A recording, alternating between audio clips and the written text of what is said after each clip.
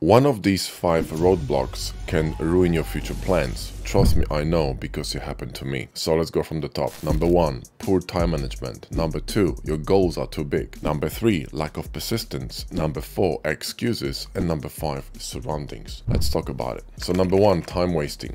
I had no idea how much time I was wasting until I ran something that's called Time Audit. It's a simple idea I learned about when reading a book titled Buy Back Your Time by Dan Martell. Have a read, it's a fantastic book, you'll learn a lot. So what's the secret here?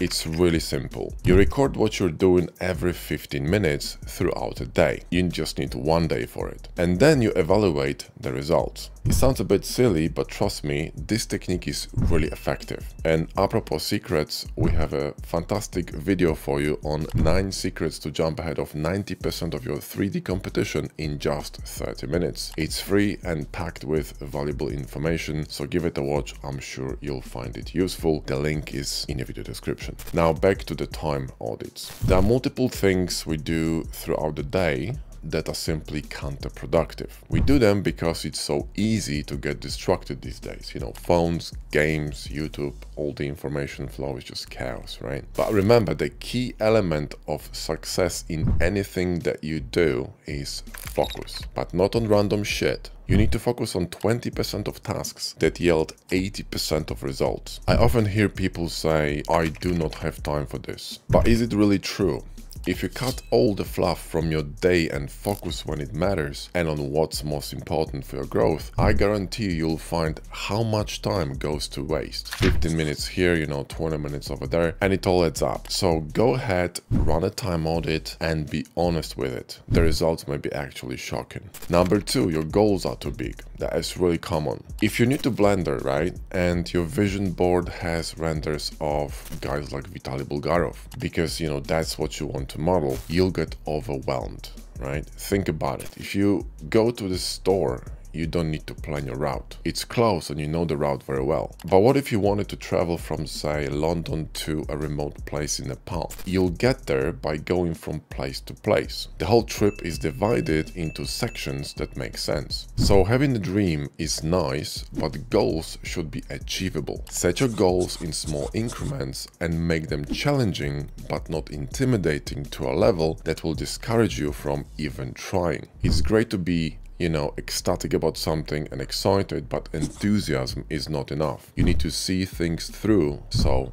you know, pace yourself. Number three, you give up too easily. That is really common as well. Relationships, right? If you've been in one, then you know what I mean. And if you haven't, then I have some news for you. The first few weeks or month are great. And then the hard work begins. Now, getting into a relationship is really easy. Unless, you know, you have an account on Reddit, then you're fucked. But maintaining relationship is another story. Now, why am I telling you this, right? Well, the same goes to studying or working. It's easy to start something, but the trick is to continue. If you do the same thing for a long period of time and keep improving upon it, then you'll be successful. It's basic math. It's volume over luck. So pick one niche and go deep. In fact, go so deep you'll be alone down there. And that's when you know you've made it. It doesn't matter how long it takes you to get to where you want to go. All that matters is that you just don't stop and you don't give up. That simple thing is what separates the 1% from the, you know, daydreamers, right? And trying is not good enough. A child tries and a man succeeds. You're here to get it done not to moan about how much you tried and you know that you did your best. No one cares, okay? Nobody.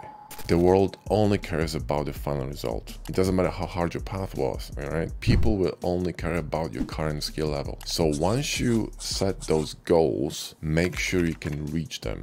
And that's how you progress. And number four, excuses. When we create a course and it doesn't sell well, it's our fault. When we create a video and it's not popular, it's our fault. When I want to do something in Blender but I don't know how to do it, it's my fault. When I can't afford something I want, it's my fault. Do you see where I'm going with this? Stop blaming other things for your current situation. It's your choices, your decisions, and your mindset that got you to where you are right now. And it's also up to you to get out of it, right? So instead of coming up with excuses, come up with solutions. Instead of saying, I can't do it, and programming your brain with this kind of a weak attitude, ask yourself a question What can I do to change the situation, right? How can I get this and that, etc., right? Unless you're dead, you got zero excuses not to get things done.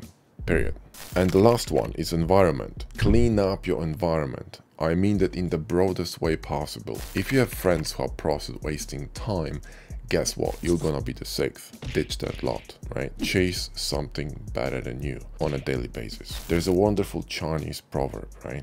Eat breakfast alone, share dinner with your friend, and give away your supper to your enemy. Only do things that benefit you and stop doing things that keep your wheels in the mud. Trying to make yourself feel better by wasting time won't work. Neither will justifying your situation by surrounding yourself with people who are useless. Yes, they will understand you and yes, yes, they will sympathize with you, but do you know why? Because the horizons are narrow and their expectations are low. Next, clean up your space. Make it feel like a workspace. I know it's not always possible. I built Blender Bros together with Josh from one room, which I shared with my wife. I had to deal with noise, things that were in my way, distractions, and all kinds of issues. Did it stop me? If you cannot bend the environment to your will, train your mind to adjust until you can change it. If you really want to achieve something, you will find a way. Are you out?